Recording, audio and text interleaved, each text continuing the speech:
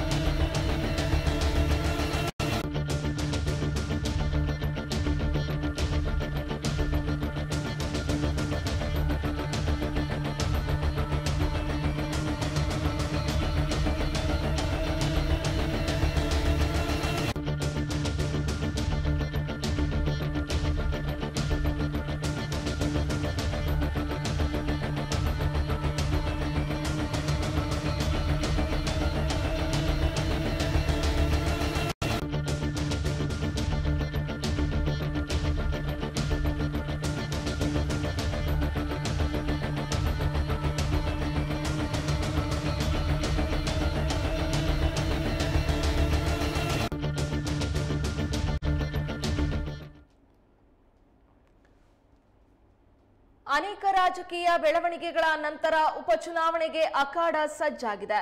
November ಇಪ್ಪತ್ತೈದು ನಾಮಪತ್ರ ಸಲ್ಲಿಕೆಗೆ ಕೊನೆಯ ದಿನವಾಗಿತ್ತು. ಒಟ್ಟು ಎಂಬತ್ಮೂರು ಅಭ್ಯರ್ಥಿಗಳು ಮೂರು ಕ್ಷೇತ್ರಗಳಿಂದ ನಾಮಪತ್ರ ಸಲ್ಲಿಕೆ ಮಾಡಿದ್ದಾರೆ.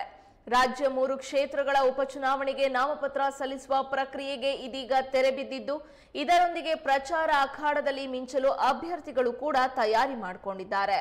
ಚನ್ನಪಟ್ಟಣ, ಶಿಗ್ಗಾವಿ, ಸಂಡೂರು ಈ ಮೂರು ಕ್ಷೇತ್ರಗಳಿಂದ ಎಂಬತ್ಮೂರು ಅಭ್ಯರ್ಥಿಗಳಿಂದ ನಾಮಪತ್ರ ಸಲ್ಲಿಕೆಯಾಗಿದೆ.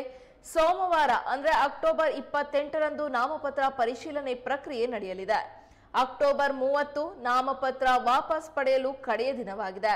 ನವೆಂಬರ್ ಹದಿಮೂರಕ್ಕೆ ಮತದಾನ ಪ್ರಕ್ರಿಯೆ ನಡೆಯಲಿದೆ.